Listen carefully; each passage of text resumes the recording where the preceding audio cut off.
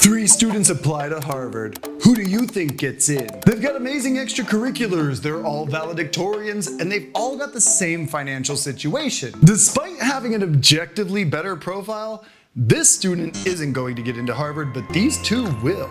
And this is why. Allegedly. Right now, American colleges are permitted to use race as one of several factors to determine whether or not to admit a student. So even though this person has an objectively better profile, Harvard could say that they would rather have somebody else because of their race. If that seems unfair to you, then stay with me. Affirmative action is complicated, and I'm not to tell you what to think in this video.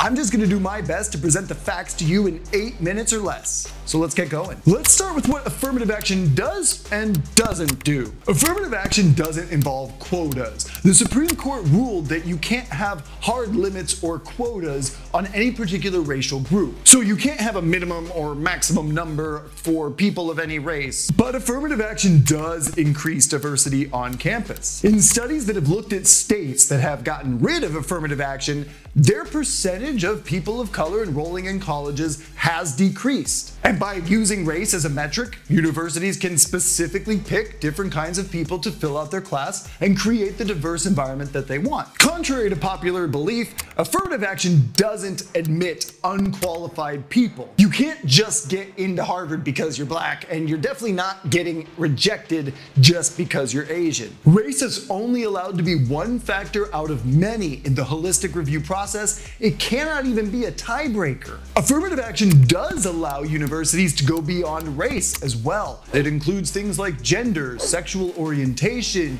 your disability status, and even your age. It's the same reason why a woman applying to a STEM program can get a boost, while a man applying to psychology could get the same boost. Universities generally want to lift up the group that is underrepresented. And affirmative action doesn't actually do much at most universities. Affirmative action really only becomes an issue when we're talking about colleges that have a lot of applicants, more applicants than they have seats. And that is predominantly a problem at the universities that are at the top 50, top 100 level in the United States. Michigan State is not doing a whole lot of affirmative action, while Harvard apparently is. Allegedly. And that's exactly why Harvard was named in a lawsuit from a group called Students for Fair Fair Admissions, or SFFA. SFFA sued Harvard years ago and lost their first two battles in court, but they have since appealed the case to the Supreme Court, and that is probably going to have massive ramifications for the college admissions process in the near future. But I am getting ahead of myself. I still want to talk about affirmative action and some of the arguments that people use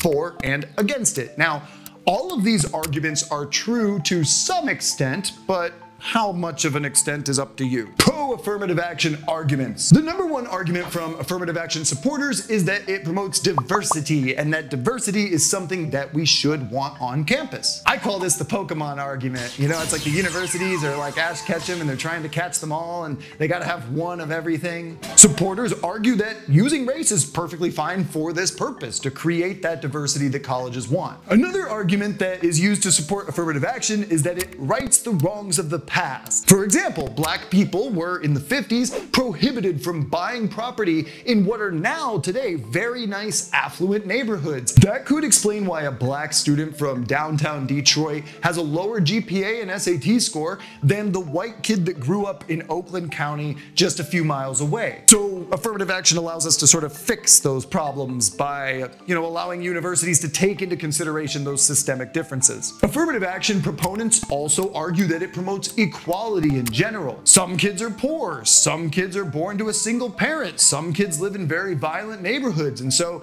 by using affirmative action, we can sort of help out people for other reasons and not just consider their numbers. The anti-affirmative action arguments, though, have some really good points. Many argue that affirmative action is antithetical to the whole concept of merit-based admissions, like you should get into the best university because you were the best. Another argument against affirmative action is that it discourages effort. Why study harder for the SAT if you know that because of your race, you can get in with a lower score? Or conversely, why try to get the best score in the SAT if you're Asian American because everybody else is bringing that high score too and you're still going to be discriminated against? And speaking of Asians, perhaps the best argument against affirmative action is that it's kind of racist. I know, right?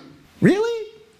Is it? How could a policy that is supposed to help minorities end up actually hurting them? That is precisely what the lawsuit from SFFA alleges. It says that Harvard practiced discrimination against Asian American students. The data that they cite in this lawsuit is pretty damning for Harvard if it's true. Let's take a look at the numbers. They typically apply in greater numbers, they usually have higher test scores and higher GPAs, and yet for some reason, they're not being represented as much as they should be. Allegedly. Compare Harvard to Caltech, a university that is not allowed to use race in its admissions process. Caltech is about 45% Asian American today. The lawsuit argues that if Harvard had a policy just like that of Caltech, they would probably have a similar distribution of Asians. And so, for some reason, it seems that the Harvard admissions office is systematically making it harder for Asians to get in.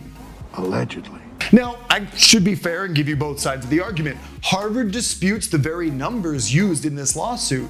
They've published their own comments and, in fact, have made an entire section of their website dedicated to fighting this lawsuit. Harvard's data even goes so far as to say that they had someone independently review six years of admissions data and found that in three of them, Asian American students actually got a boost. However, they didn't say which years those were, and it makes me sound like they might be cherry picking the data a little bit to make a good counter argument. It's really hard to see how this lawsuit is complete bullshit. Like, it looks like they've got a strong case. Whether you agree or not with the lawsuit's claims, or whether you agree or not with affirmative action, I think it's important for us to talk about what's probably going to happen anyway.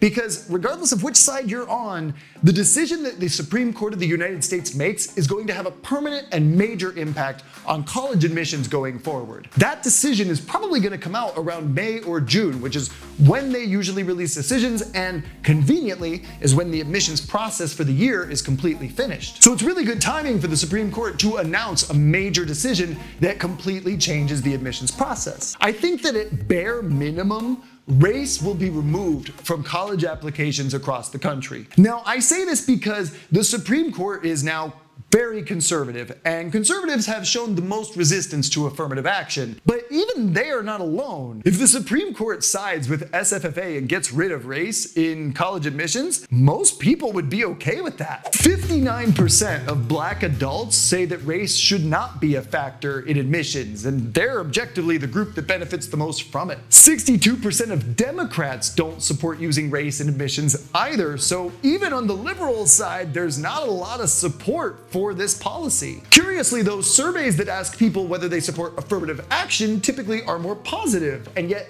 when you ask people about the race-specific component, it's more negative. It's almost like a lot of people don't really know what affirmative action is. So the Supreme Court of the United States has a lot of options. They could eliminate just race because that is what this case is focused on, and they could keep the other aspects of affirmative action present in college admissions. But they could go much further. Colleges are going to have to make a bunch of changes after this ruling, regardless of what it is. One of those changes will probably be in the tone of the essays. Colleges that want diversity are going to ask students prompts that encourage them to talk about their gender or racial identity so that they can get the diversity they want. New York University has already done this. They got rid of the Why NYU essay this year and replaced it with an essay about diversity.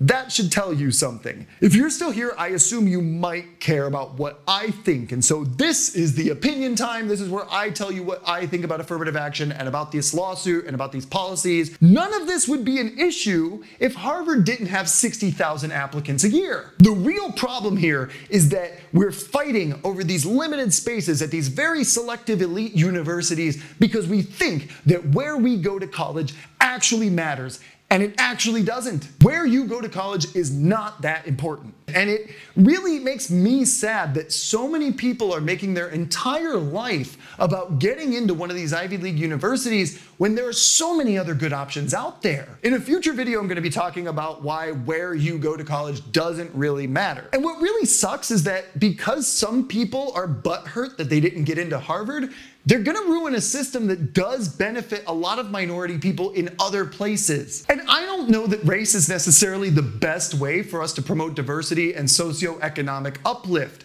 I do think there are other variables we could consider besides race. Thank you for watching, and I'll see you next week.